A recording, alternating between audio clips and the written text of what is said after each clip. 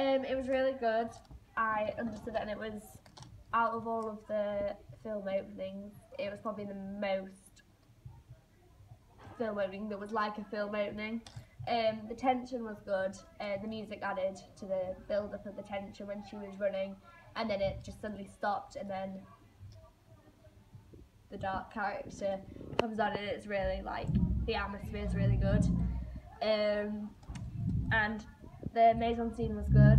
Uh, the costumes were good, just like the fact that the dark character was wearing dark clothes. That was like really clear. Um, the text made it really clear, um, and they were clear on the screen as well. That was really well edited. Um, and all the effects, the sound effects were really good and really effective. Like they were clear. They kind of added an effect to make it sort of more eerie. Um,